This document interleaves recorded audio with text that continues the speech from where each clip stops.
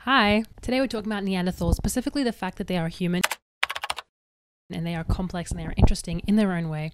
We often think about them as like really stupid and these kind of thugs. We think of cavemen and Neanderthals as like these really idiot beasts, and humans kind of prevailed because we were smart and had brains and we were like so much more above them. And we often forget about their humanity and their complexity. So today I wanted to share with you a really recent discovery in the archaeological record, which has kind of helped us understand Neanderthals a little bit better. Also, there's another chair right here because my cat fell asleep on the chair the chair that's usually here and I didn't want to wake him so I just grabbed another one and I'm sitting on that now.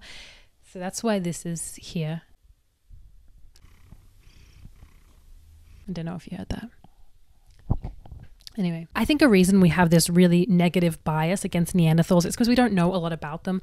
Obviously, they lived a really, really long time ago, but recently, in I think October of this year, an article was published which discusses a really important discovery in terms of understanding Neanderthals, their social organization, and just a little bit more about how they lived. Early this year, an article was published in the Smithsonian which revealed the results of a study that was undertaken in 2019. This study analyzed the DNA of a group of Neanderthals found in the Chudgyrskaya cave in the snowy Altai Mountains of Siberia in Russia. It was assumed that Chudgyrskaya cave was a short-term bison camp due to the organic materials that were found there, which were able to have been radiocarbon dated to between 51 to 59,000 years ago, which is a really fucking long time ago. So let's just look at the context surrounding this discovery and what the Earth looked like 60,000 years ago. This takes us back to the Middle Paleolithic, which spanned between 300,000 to 50,000 years ago, otherwise known as the Stone Age. At this time, there are lots of human species walking around the Earth and kind of occupying different parts, so it's not really similar to how today Homo sapiens are the only ones, but back then we had Denisovans, Homo sapiens, Homo floresiensis, and of course Neanderthals. Right now, we're living in a really weird time because most of human history has involved many different human species living on Earth at the same time. So we know that back in the day, these species somewhat coexisted with each other, but we don't actually know that much about them because it was so long ago. It's so hard to find concrete archaeological evidence for any one thing. Now, the Denisova hominins and Homo floresiensis are quite new to our understanding of the human species. Their discoveries of those specimens have only really come about in the last decade or two. Um, Neanderthals we've known about for a lot longer, but they still remain quite a mystery to us. So, what we do know about Neanderthals is that they lived 400,000 to 40,000 years ago. So, they spanned that sort of amount of time. They lived in Europe and like southwest to Central Asia. We know that Neanderthals must have lived alongside Homo sapiens for at least some of their like existence. They lived so closely that some humans today have inherited around 2% of Neanderthal DNA. So don't think they're half as stupid now, do you?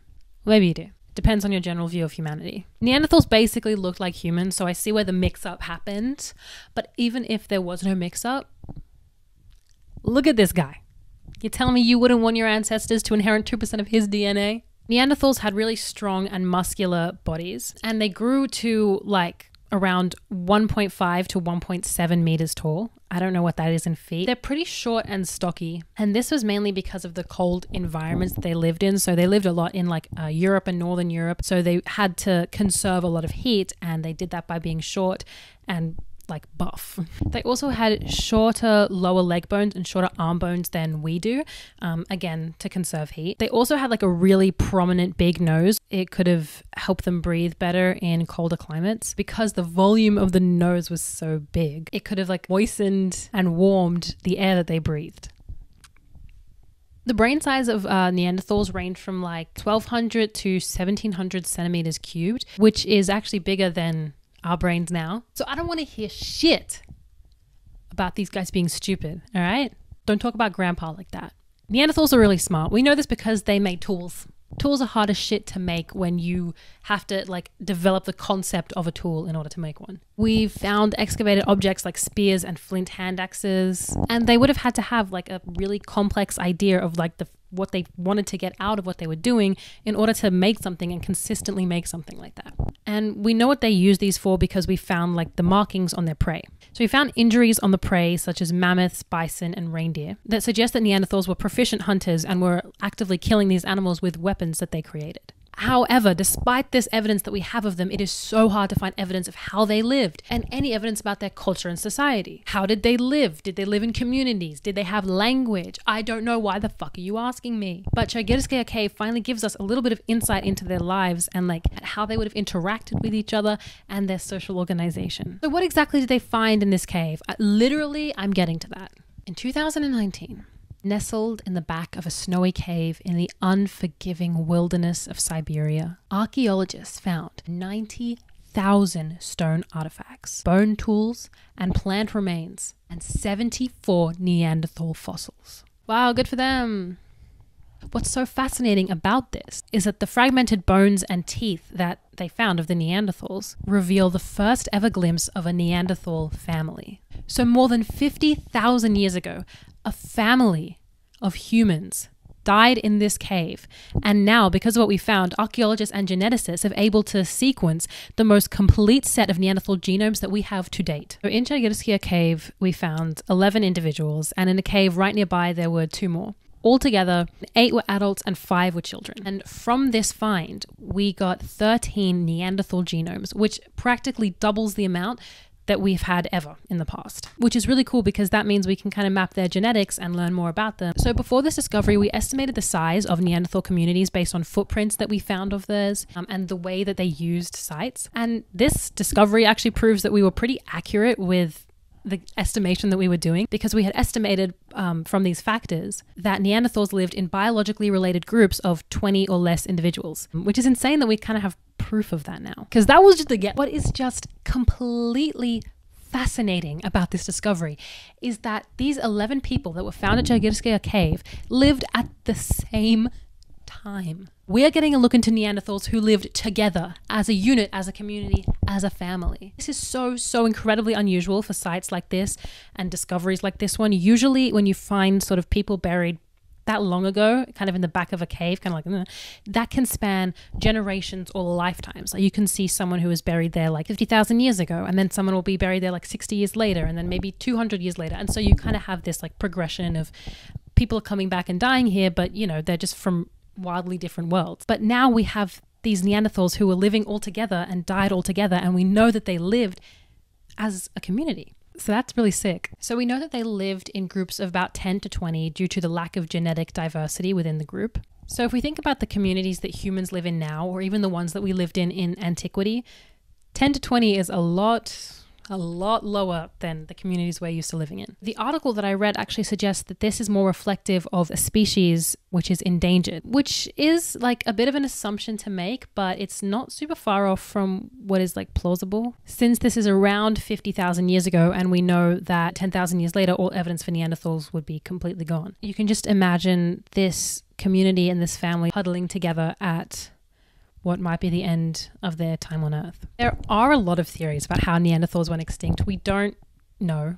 But there are so many theories. People love talking about this. People have a field day with this. Some of them I believe more than others, but I'll talk you through a few of them. But there's the idea that they kind of just assimilated into modern human societies and they sort of just like kept breeding with Homo sapiens and then eventually just kind of the two kind of merged. Neanderthal genes kind of died out then there's the more believable theory that Homo sapiens just presented such competition that Neanderthals just died out. Sapiens potentially had better clothing, better shelter, they had improved hunting techniques, they lived in bigger group sizes, and they were competing for the same resources, but Homo sapiens were just better at getting those resources, and so the Neanderthals were kind of left to die.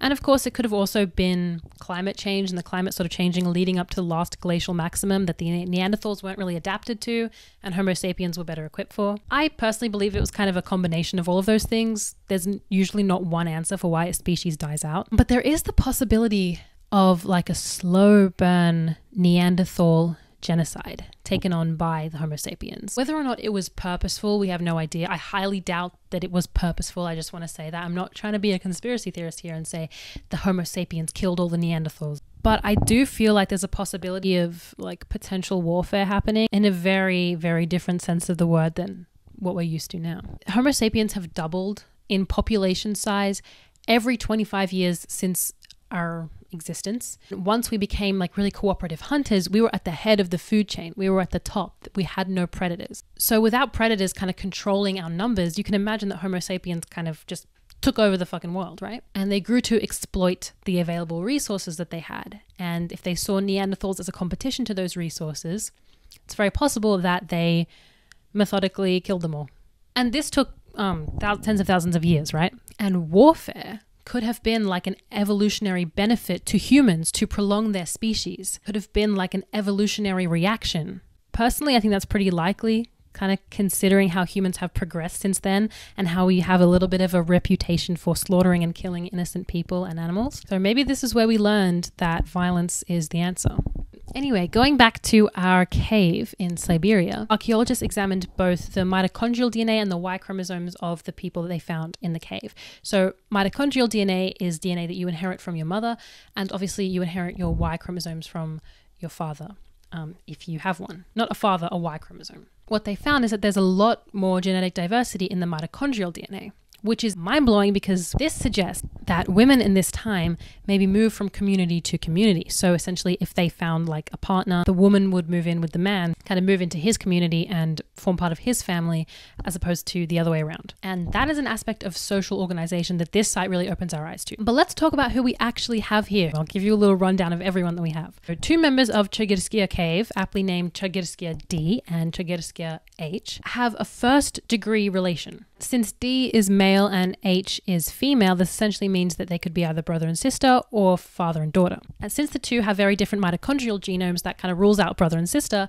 and we're left with a father and his teenage daughter. The father, Chagirskia D, also shared identical mitochondrial DNA with two other males in the cave, Chagirskia C and Chagirskia E. So that means that these individuals were related through their maternal lineage and were perhaps fourth degree relatives, meaning that they possibly shared a grandmother. So they could be cousins or something. This is just like an incredible look at how people lived 50,000, almost 60,000 years ago. We have a whole family here. We have a dad and his young daughter and we have his cousins and they're all living together in this cave or at least they're hunting bison here for a short amount of time we don't know. So often we can't really connect with our ancestors and this is just something that you can like imagine why they were here and the relationship they had with each other. I feel like if you think back as recently as like the 1920s even like the 1950s sometimes people have a hard time believing that people even that close to us in time had similar thoughts and jokes and relationships that we do now. Like we often feel so disconnected from them. And if you take that back almost 60,000 years ago, like obviously you're not going to feel connected to some random Neanderthal. But discoveries like this are so important and so interesting because they really humanize the humans that we've kind of forgotten along the way. You know, these people had a family. We like are literally seeing like a dad and his daughter just chilling hunting bison in a cave. Unfortunately, it's it's not all super happy um, sunshine rainbows because these individuals did die in this cave. Paleogeneticist Laurits Skov thinks that the group may have died of starvation after like a failed bison hunt. So they were in this cave to kind of hunt bison. Maybe they didn't do a very good job and then they passed away due to starvation. Geochronologist Richard Roberts has another idea. He thinks that maybe it was just a really bad storm. He's quoted as saying, They are in Siberia after all. So maybe they just got taken out by nature. So we don't know how they died. But thanks to the discovery in Chagirskia Cave, we know a little bit more about how they lived. I hope you found this as fascinating as I do. Um, this is really one of my favorite discoveries, and it just came out earlier this year. So just imagine what else is out there for us to find and discover, not only about Neanderthals, but about any of our human ancestors. Neanderthals aren't stupid, and I hope that this discovery can help to humanize them for you. I feel like sapiens have a bit of a bit of like a victim complex. If I'm gonna be, if I'm gonna like psychoanalyze it, Homo sapiens just need to realize they're not the victims in this situation, and they are in fact the aggressor. And not everyone's always gonna be on your side. Personally, I am still rooting for Neanderthals. I think they're gonna make a comeback. Okay, bye. He hasn't moved this whole time. He's just been lying there this whole time. Bitch, I thought I was to get my chair back. I'm not.